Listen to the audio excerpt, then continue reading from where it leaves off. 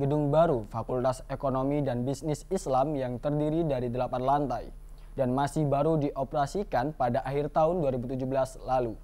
Rencananya akan dilanjutkan kembali.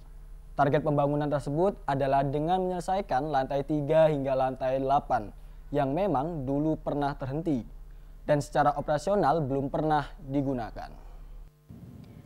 Pembangunan gedung Fakultas Ekonomi dan Bisnis Islam UIN Sunan Ampel Surabaya akan kembali dilakukan.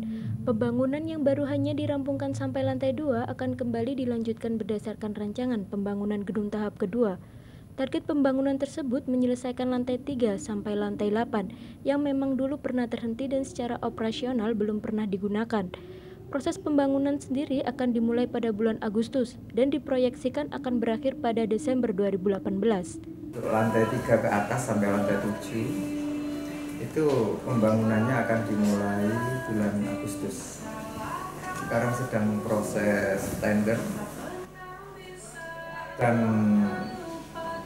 lokasi biayanya kurang lebih 50 miliar. 50 miliar. Diselesaikan sampai bulan Desember. Jadi semester depan kita sudah bisa menggunakan